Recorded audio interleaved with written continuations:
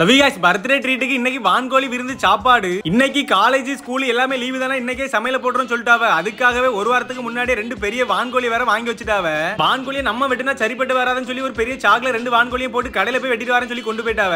அண்ணன் வீட்டுல இருந்தா சமையலுக்கு பாத்திரம் வேற எடுத்து வச்சிருந்தோம். அதை கார்ல ஏத்தின உடனே காரை வேற எடுத்துட்டு போயிட்டாவ. கார் போன உடனே ரெண்டு பேரும் ஓடி வந்துட்டு கார் போயிட்டுல அப்படி சொல்லிட்டு இருந்தானோ நான் உடனே நம்ம வண்டியில யாருங்க? நான் உங்களை கூட்டு போறேன்னு சொல்லி கூட்டு போயிட்டு இருந்தேன். வரும்போதே விரவலாம் வேற எடுத்துட்டு வந்துட்டோம். தோப்புல பாத்தீங்கன்னா நல்ல ஒரு தென்னை மரம் நிலநாட்டு தான் இருந்துச்சு அண்ணன் வேற ஃபாஸ்ட் அடுப்பு போட்டாச்சு வரும்போதே மசாலா ஐட்டம் வேற வாங்கிட்டு வந்துட்டோம். அதுக்கப்புறம் எல்லாருமே சேர்ந்து இருந்து உள்ளி வெட்டிட்டு இருந்தோம். இந்த சைடு தீய வேற பட படன்னு பத்த வச்சு விட்டாச்சு. நம்ம அண்ணன் மாதிரிலாம் சரியாட்டு வைப் பண்ணிட்டு வந்துட்டு இருந்தாவ எல்லாருமே சேர்ந்து இருந்து பாட்டு கேட்டு உள்ளி வெட்டிட்டு இருந்தோம். கொஞ்ச நேரத்துல உள்ளில வேற வெட்டி முடிச்சிட்டோம். அதுக்கப்புறம் ஃபர்ஸ்ட் முட்டையை அவிக்கலாம் சொல்லி முட்டையை எடுத்து அடுப்புல போட்டு உப்பு வேற போட்டு விட்டாச்சு. இந்த சைடு பார்த்தா இடிலாம் இடிச்சு மலைக்கு வேற இருட்டிட்டு இருந்துச்சு. நம்ம அண்ணன் வேற வான்கோழியை சின்ன சின்ன துண்டாட்டி கட் பண்ணி கழுவி வச்சிட்டு இருந்தாவ அதுக்கப்புறம் மஞ்சள் படி உப்பெல்லாம் மட்டும் நல்லா வேக விட்டுட்டு நம்ம அண்ணன் மாதிரி நல்லா வைப் பண்ணிட்டு இருந்தாவ வீட்ல இருந்தே வரும்போது மசாலா ஐட்டா இஞ்சி பூடல வேற அரைச்சு எடுத்துட்டு வந்துட்டோம். முட்டை வெந்த உடனே தோட உடச்சு நம்ம அண்ணன் ஃபர்ஸ்ட் எடுத்து சாப்பிட ஆரம்பிச்சிட்டாரு. வான்கோழியும் வெந்து வந்துருச்சு சோறு வேற வச்சு முடிச்சாச்சு. எல்லாருமே சேர்ந்து இருந்து சமையல் பண்ணும்போது தர மாட்டு இருந்துச்சு. நம்ம அண்ணன் வேற செவன போற வாங்கிட்டு வந்துட்டாரு. உள்ளி தக்காளி எல்லாம் வதங்கின அப்புறம் அவிச்ச வான்கோழி எடுத்து உள்ள போட்டு வீட்டுல அரைச்ச மசாலா எல்லாம் உள்ள போட்டு நல்ல ஒரு கிண்டி கிண்டி விட்டுட்டோம். அதுக்கப்புறம் ஃபாஸ்ட் ரசமும் வான்கோழி அரைச்சும் வச்சு முடிச்சிட்டோம். நம்ம அண்ணன் வேற மனம் சும்மா ஆள தூக்குது மக்கா அப்படி சொல்லிட்டு இருந்தாவ.